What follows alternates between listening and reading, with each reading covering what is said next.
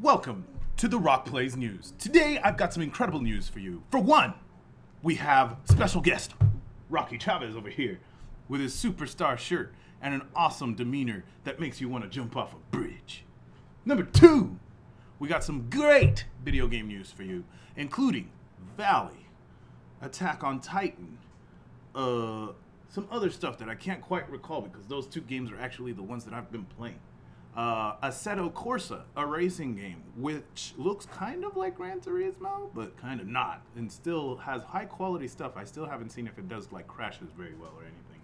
Four, we got some PC tech news for you, including the AMD Zen CPU and it's outclassing the, uh, the Intel processors and beating them one by one by one.